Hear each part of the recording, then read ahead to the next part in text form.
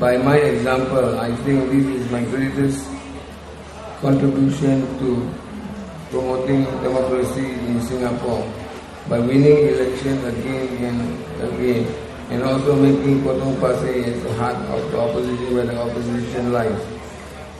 I racked my brain to recall what I had done in those 25 years.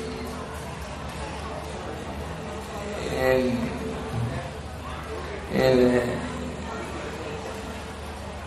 here, are some of the examples of issues I have engaged in.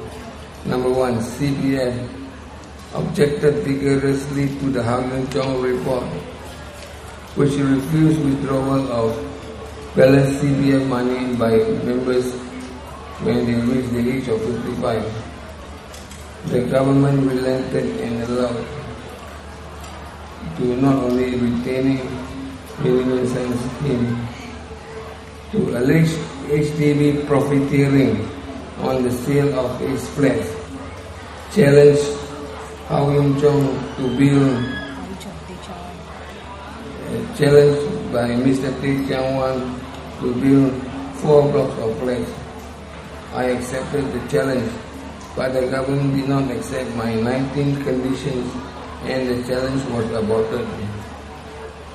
Objected to ministers' high salaries, debate on the Marxist conspiracy, call for the release of Chia Thye Poh,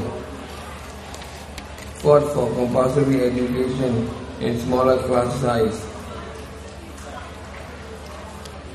Class size was finally reduced from the size of 40 or 45 down to 20, 25 students per class. Argued against the graduate mother scheme. Support for more funding of sports. Participation in select committees. Attended conferences such as ASEAN Interparliamentary Organization every year and Commonwealth Parliamentary Association. I have had the honor of meeting royalty and heads of state. Before ending my speech, I would like to thank all the people who have helped or contributed in one way or another to make a success of this occasion. They are Ace Tours Travel Private Limited and their lucky draw prizes. New Island Travel Private Limited and their lucky draw vouchers.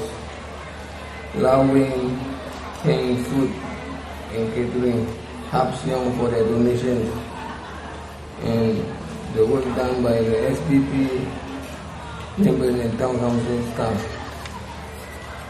And let us not forget and thank the cooks for preparing the food. Thank you.